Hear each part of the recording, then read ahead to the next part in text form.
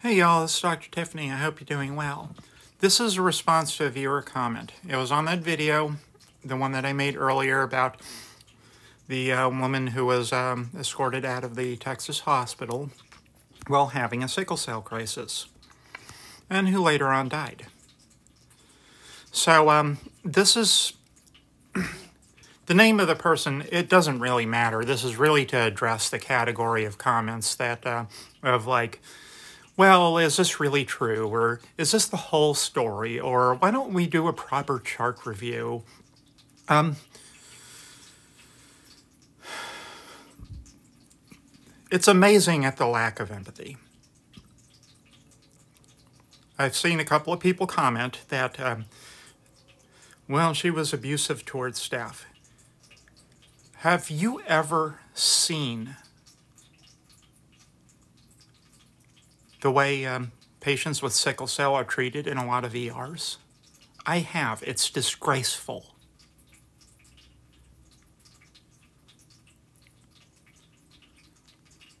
I would be furious.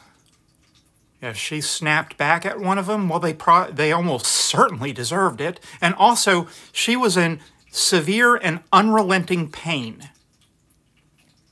At some point,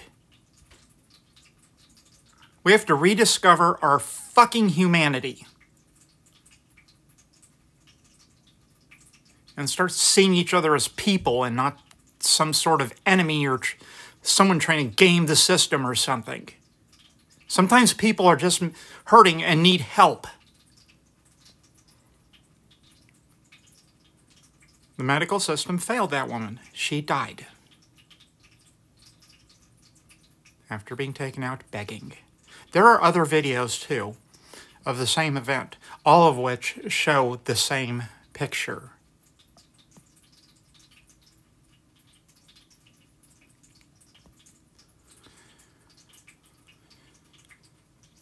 So, um,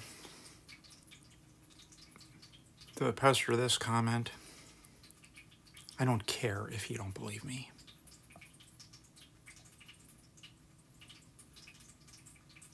You should be ashamed at always taking the negative stance on things. Maybe if you were a little more constructive, if everyone was a little more constructive, we wouldn't have some of these problems. That is all. The rest of you, I love you. Stay safe.